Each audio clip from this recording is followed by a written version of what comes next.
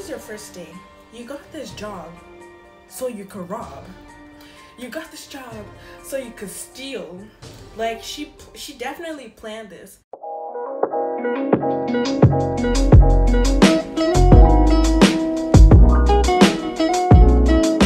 Hi guys, welcome back to my channel.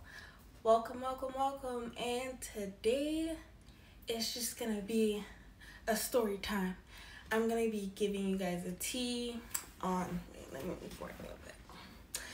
Just giving you guys tea on my experience working at McDonald's, a crazy experience I had. So from the title, you can already see that it's basically I was working at McDonald's.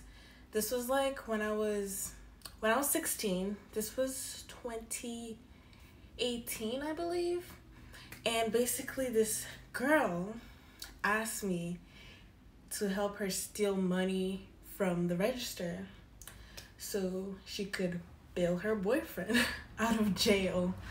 Okay, so yeah, that happened. Um, so I'm just gonna jump into the story. But anyway, so this was like a regular shift or whatever, and then this new girl comes in and like the managers told me that I should show her how everything works because I was uh, I was at the front register so they were like show her how everything works you know whatever just basically train her because I, I had been there for a while and I was one of the good workers. Thank you. But yeah they were like you should train her whatever so I was training this girl. She was pregnant I should add. She was pregnant. So yeah I would be training her and I noticed that she would go to the bathroom a lot. I, I don't know if it was because of the pregnancy, but I just know that she would go to the bathroom a lot, or she'd be like, oh, I have to take this call and whatever. but she would just be like gone from the register a lot, which I thought was kind of weird. But I was like, I don't know what's going on. Like, she's new, so I, I, I don't know. I didn't really care, but one thing I did notice is that she was kind of sus whenever it would come to ringing up a customer, every time that cash register cash register opened, she would appear. Even if like I wasn't there, let's say I was showing her something in the back, once the register would open or someone's ringing up someone, she would like creep back up there. And at first, obviously, I thought maybe she just wants to see how it works, you know, and whatnot. But I started to notice that I feel like she's trying to do something else. I don't know. I just kind of felt like the way she was just always there was just weird to me. And she would like float around. You know, she would be pushing buttons. Like she would go up, go up there by herself and start like pushing buttons and stuff. Like no one else is there with her. And I'm like, what is going on? I'm so confused right now. But I was like, okay, so whatever. So I was just like staying around her to see if anything would happen. And I think this was a Sunday and I used to work like 2 to 10. So let's say around like nighttime, let's say like 8 ish. So we, I and her were at the register and um she just basically goes like I don't know what kind of person you are, but and in my head I'm like no no, no, no. Whatever information you're about to share with me, I don't want it. Keep it to yourself because if I have this information, basically, I have to take some kind of action. Like, I just want to earn my $10 per hour and leave. Like, I'm tired. Don't. Anyway, so she's like, basically, I don't know what kind of person you are, but I'm a Christian. But I gotta do what I gotta do. And I'm like, Miss Girl, what are you talking about? And she's like, So, I'm pregnant as you can see. I'm like, Yes, I can see. And she's like, I'm pregnant and my boyfriend is in jail. Okay, that's a sad story, but what does that have to do with me? You know? And she's like, basically, I have to bail him out. This is his second time being in jail. And I'm like, uh, okay, like bail him out then like what are you telling me you know like i don't i don't know why you're telling me this information like i've known you for like 30 minutes Yeah. But she's like, um, I need to bail him out of jail, but I don't have the money. Like, I've already sold my phone. And she was like, Oh, this is our second pregnancy. The first time I had the baby, um, he went to jail, and because of the stress, I lost the baby. Yeah, this is the second time. This is the second baby. He didn't learn the first time. He didn't want to do better for you. You want to steal for him. So what? You end up right next to him in the jail? Like, I don't understand. Like, you guys. I don't understand people sometimes, but yeah, she was like, I, I really need to bail him out. I've already sold my phone. That I promised to pay the money back. Like, please just help me take, I think it was like $200 from the register. And I promised to put it back the next day. I'm like, this is your first day. You got this job so you could rob. You got this job so you could steal. Like she she definitely planned this because she had been acting sus since the beginning of her shift. People have how do you I don't understand people. You literally got the job to steal. And the thing about the McDonald's I worked at is if the money from the register was short, whoever was working the register around the because they changed the register from time to time. So at the point where so basically from the last point that the register was like changed, like they taken out all the money and emptied it basically, whoever was with it to the next change is responsible for how much is in that register. So just imagine them being like, uh, Oyinda, during your shift, $200 is kind of missing and you got to pay from pocket. Yes, if the, it's a, if the register's short, whoever was there got to pay up. Now, think about it. $200. I'm working 2 to 10 earning $10 per hour. That's $80. That's more than girl I'm like, I'm not entertaining this. And I'm like, okay, I'm not helping you steal if that's what you're asking me. And she's like, please. And I'm like, no, I know how to open the register. She's asking me how. I don't tell her. And she just basically keeps telling me the backstory like, I lost the baby. I really want to help him get out. Blah, blah, blah. Like, my mom wants to help me bail him out, but she didn't have enough money. And I'm like, girl, you guys don't have $200. And she's like, I've asked his family. Like, nobody has. I'm like, that's such a lie. How can you tell me you asked his family, asked your mom, and amongst all of you, you guys can come up with $200? Like, what? And you know what? if she worked, because my McDonald's needed people, if she worked a good amount of time, like literally she could earn $2 in like two days. So I don't understand. Like, you could have just done your shift today, done tomorrow, maybe done the next day. Boom, $200. anyway, so basically, I'm like, no.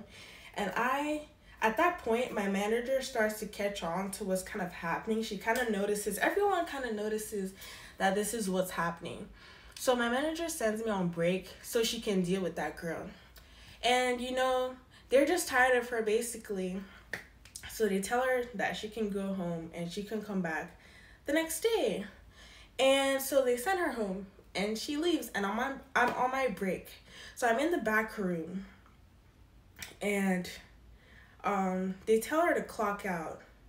And she clocks out, she leaves. I go to the back room, I'm eating. It's like 10 minutes left on my break. And in the back room, there's like a back door where we can throw out the trash and everything. And I see this girl, and she comes to the back. Mind you, she left at the beginning of my break. And it's now like 20 minutes later, and she comes to the back, to the back door, and she's trying to talk to me. And I'm like, what are you doing here? Miss what are you doing? What, what are you doing here? And I'm like, girl, I just want to eat my Big Mac and watch YouTube. Like, I've been working for six hours now. I deserve this break. Like, please. But she's begging me, y'all. She starts crying. She's like. I'm like, you're asking me to rob. I don't know you. I'm not gonna go to jail for you. Like, I don't understand why why is she clinging to me? Like, I'm not the only person there. And she begs me, and you guys, I clock back in after my break almost 20 minutes late because of this girl would not leave me alone. And when I clock back in, she comes into the store from the back and she's like begging me like okay can you at least borrow me $200 i'm like miss girl if i borrow you 200 that's not borrowing if I borrow you two hundred dollars, you're not gonna pay me back because you're about to rob a McDonald's. You're not gonna pay me back, you know. And I'm like, no. I tell her something like, my card is linked to my mom's account, which it was actually. So I was like, my my card is linked to my mom's account. So if I kind of like take money out, she's gonna see that I took out two hundred dollars and cash out to someone else. You know, like I can't do that. And she starts asking people in the in the store like oh can you borrow me $200 everyone's like no. But that was really weird. And i was like i was frustrated. So i just went and told my manager point blank period like this girl is asking me to steal money for her. Like because i didn't want to get in trouble. If anything is missing if she did if she did end up stealing the money and they'd be like you knew and you didn't tell us so i didn't i didn't want anything like that so i just told my manager like this is what's happening. She's asking me for money, you know, and I've been telling her no. She came into the store after she clocked out to beg me and whatever. Like, this is exactly what's going on. And my manager's like, okay, thank you for telling us. And you guys, um, basically, that's where everything like kind of calmed down after I reported. Then I just basically detached myself from the situation and my manager was like, sis, you gotta go home. And she left the store and she came back again. And she was just kind of lurking in the dining area, you know, trying to get to the register. I'm like, how are you gonna steal even after you've clocked out? Like, it was just so stupid. But after like her third time of coming back into the restaurant, she just kind of finally leaves. And obviously, they they fire her. I don't know if they formally fired her, but you know, she never came back. And that was really weird. I don't know. That was so crazy to me that that would actually happen to me because I've never experienced something like that. So I was like, that was weird. And I was just glad that I told someone because I didn't want to be associated with any kind of money missing because assist is 16. Any money you take from my account is gonna damage my soul. It's gonna hurt my pocket, crying, wallet, shedding tears. So I can't afford anything like that. And I'm not about to end up in jail next to you and your baby daddy in prison. Like, girl, if you wanna end up in jail and give birth right next to your husband in that cell, like, that's your problem. But don't drag me, a stranger, into your situation, you know?